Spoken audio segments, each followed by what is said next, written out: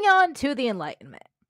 This is the time period where philosophers argued that reason could be applied to social, political, and economic questions as well as science. Basically, rational, critical thinking could be used to understand human society. The advances in scientific thought inspired European governments and groups of individuals to question the reasonableness of accepted practices in fields ranging from agricultural to laws, religions, and social hierarchies. This intellectual movement, which assumed that social behavior and institutions were governed by scientific laws, is called the Enlightenment. The Enlightenment thinkers were also influenced by the Reformation and other cultures, including the Jesuits' accounts of China. The new scientific methods provided the enlightened thinkers with a model for changing European society. These thinkers were not a homogenous group. They drew inspiration from disparate sources and espoused a variety of agendas.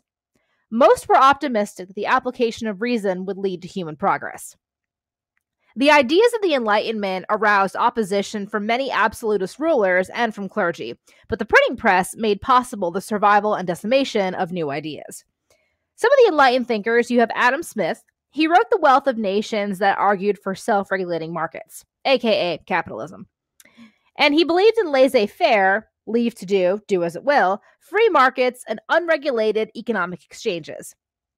Enlightenment thought had little impact on lower classes. It was most influential on the bourgeoisie, basically the middle upper classes. Paris became the center of the enlightened philosophes movement.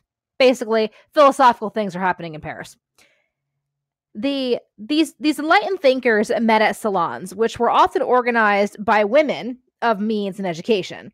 And although women patronized these enlightened thinkers, few men challenged the traditional limitations that had been placed on women, allowing them to join. That didn't happen. Mary Wollstonecraft challenged ideas about women's roles and rights in the vindication of the rights of women, and she's the first to argue full citizenship for women, including rights to vote.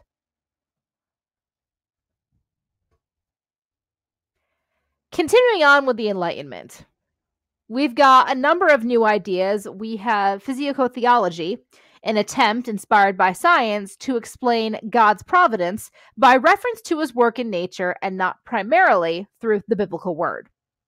We have a support of a rational religion free from mysteries, miracles, and superstitions.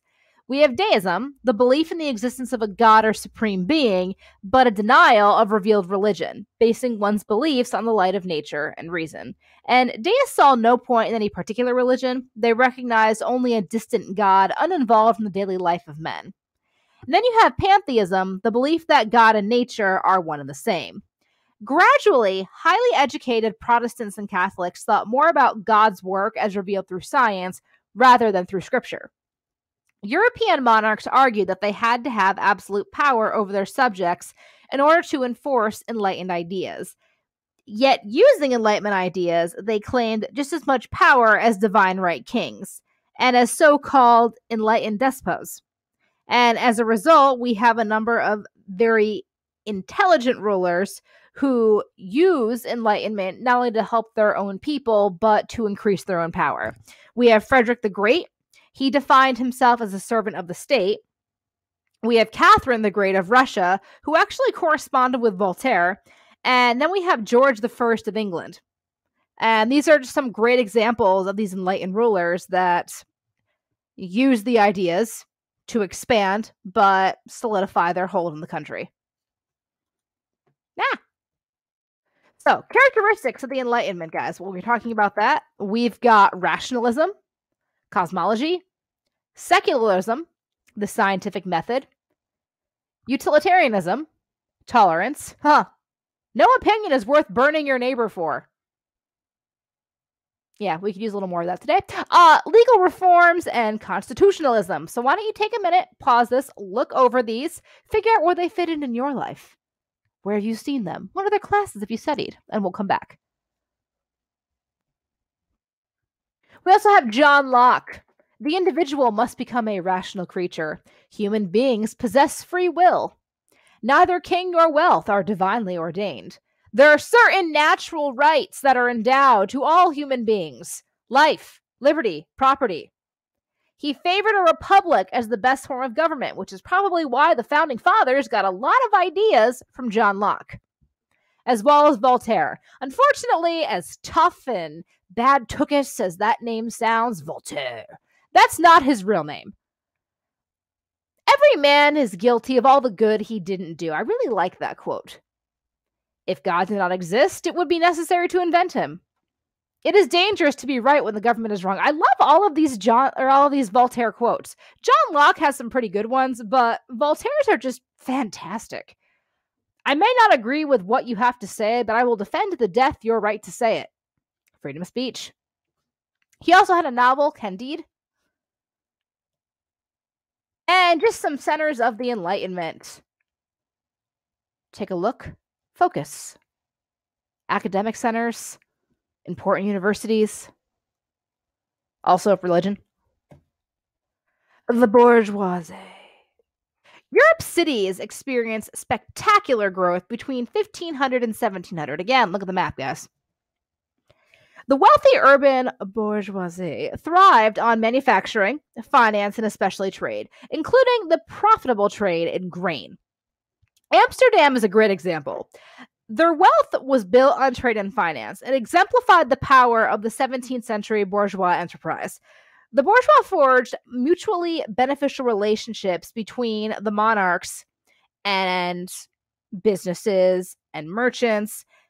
And these families become incredibly powerful. They built extensive family and ethnic networks to facilitate trade between different parts of the world. They partnered between merchants and governments, which led to the development of joint stock companies and stock exchanges. Governments also played a key role in the improvement of Europe's transportation infrastructure. The Anglo Dutch Wars of the 17th century provide evidence of the growing importance of trade in international affairs. The bourgeois gentry gradually increased their ownership of land.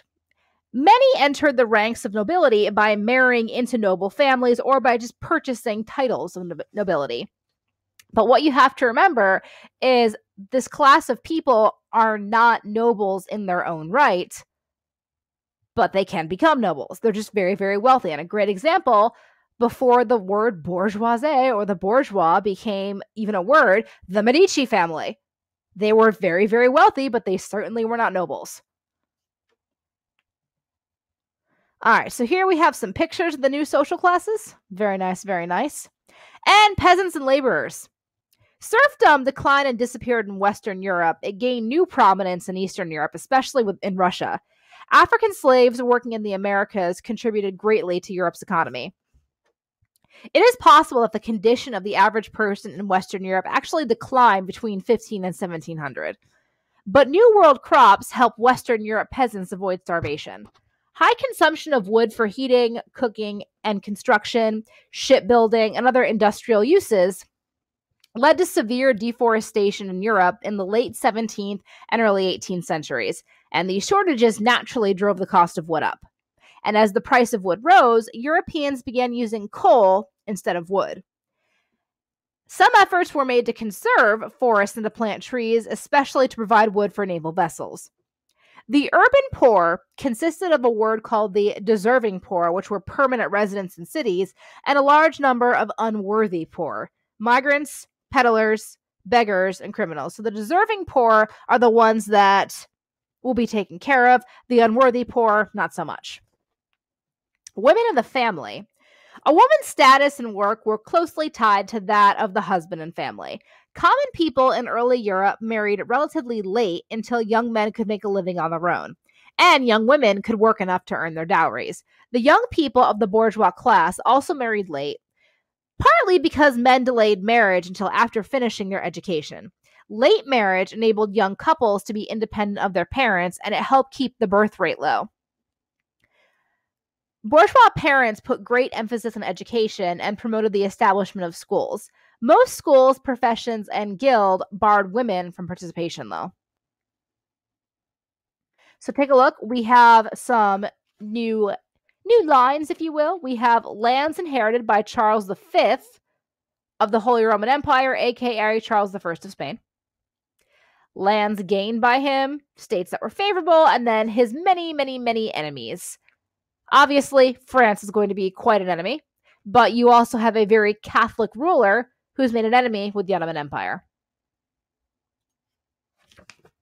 All right, state development. Between 1516 and 1519, Charles of Burgundy, who was a descendant of the Habsburg family, the Austrian Habsburg family, that is, inherited the thrones of Castile and Aragon with their colonial empires. The Austrian Habsburg possessions and the position of the Holy Roman Empire. Charles was able to forge a coalition to defeat the Ottomans at the gates of Vienna in 1529, but he was never able to unify his many territorial positions. Lutheran German princes rebelled against the French speaking Catholic Charles. They seized church lands and gave rise to the German Wars of Religions, which ended with the Peace of Augsburg. Basically, these these princes of these small kingdoms are allowed to pick their own religion. We mentioned that before. Most of them choose the Protestant or Lutheran faith. Faith. When Charles abdicated the throne in 1556, Spain went to his son Philip, while a weakened Holy Roman Empire went to his brother Ferdinand. Meanwhile, the rulers of Spain, France, and England pursued their own efforts at political unification. And some of these efforts included exploration. Captain James Cook underwent three voyages to the Pacific Ocean. Joseph Banks accompanied Cook on his first voyage, and then adding to the astronomical, botanical, geographic, and cultural information of the English Empire, he began his own voyages. On later voyages, Cook added Hawaii to Europe's geographic knowledge. In the Polynesian voyages, Cook and Banks were aided by a Tahitian high prince named Tupaia. And Tupaia helped the Englishmen by translating the Polynesian languages and explaining Polynesian culture and their practices. Tupaia also aided Banks and Cook with knowledge about navigation. But there were a number of misunderstandings between Europeans and the Polynesians, and a cultural misunderstanding led to the death of Cook in Hawaii. Joseph Banks, however, continued exploring. He used Botany Bay as a place to explore the plant life of Australia. New South Wales became a penal colony, mostly populated with men, and merino sheep were introduced to the colony in 1805. British settlement had a devastating impact on the Aborigines of Australia, and we will spend more time in later chapters and uh, two units down talking about the British impact in Australia. So here we have lands in the hands of Charles V and the boundaries of the Holy Roman Empire. Spain and Philip II. Some argue he is the first absolute monarch. Personally i don't think so but that's just me. Um he ruled spain from 1556 to 1598 during what was called the golden age of spain during the same time elizabeth ruled during the golden age of england. He was a very devout catholic. He married mary first of england. After she died he tried to marry elizabeth so he could maintain his hold on england. She refused. He invades england with the spanish armada in 1588 it doesn't go well. So the Habsburg family is incredibly powerful. Philip II is a Habsburg. Notice the possessions under him, as well as Austrian Habsburg possessions. Later, we'll talk about the Habsburg jawline.